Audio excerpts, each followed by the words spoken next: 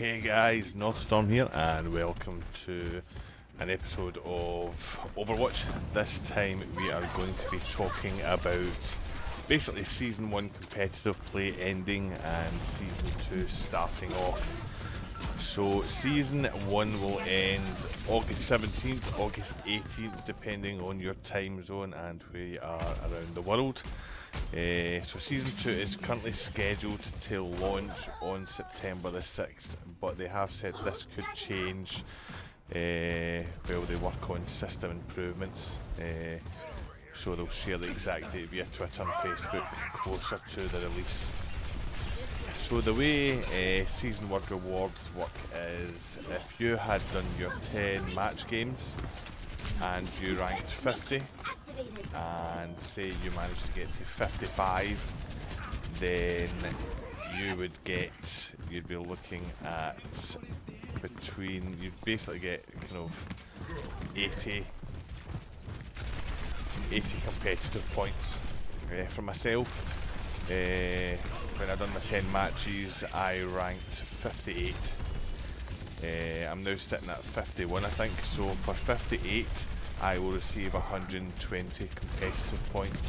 What I'll do is I'll put the breakdown on here just now and you can have a wee look and see.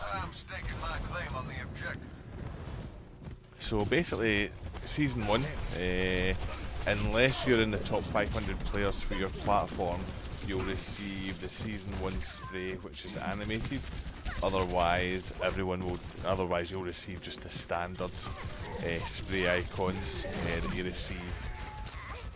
Now this is good news for basically everybody that's playing. It'll give you a chance to get golden guns for a character. Uh, so for me I think I'm sitting at 47 competitive points and with the season 1 ending I'll now be sitting at 161 or something like that so I'm basically halfway to getting my golden my golden points. Uh, so they are still looking at ways of improving. Obviously they've improved competitive play where you can only select one of the same hero, which really helps. Uh, but yeah, that is basically everything there. So what I'll do is I'll put the, the competitive play uh, skill rating up uh, so like I said, if, if you ranked say 40 after your games, your 10 uh, initial games, and you ended up at rank 50, then you would get 60 competitive points. If you ranked 55 and at the end of the season you were 48, then it's your highest rank that you achieved throughout that season.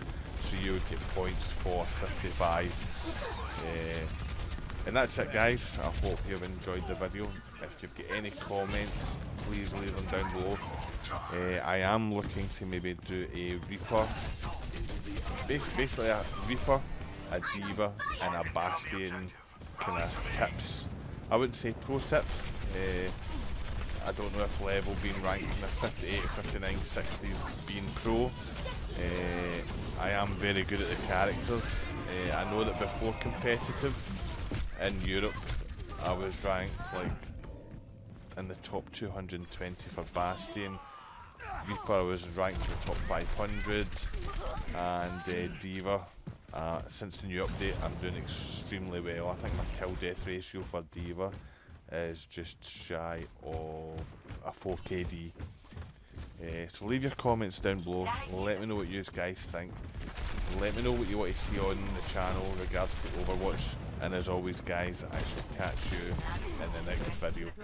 See ya.